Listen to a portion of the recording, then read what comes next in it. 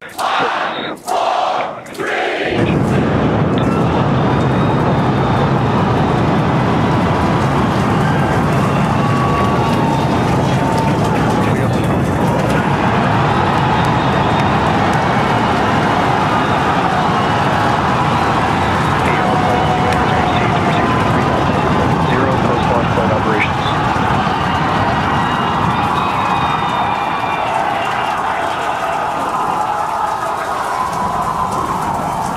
after chamber pressure is nominal.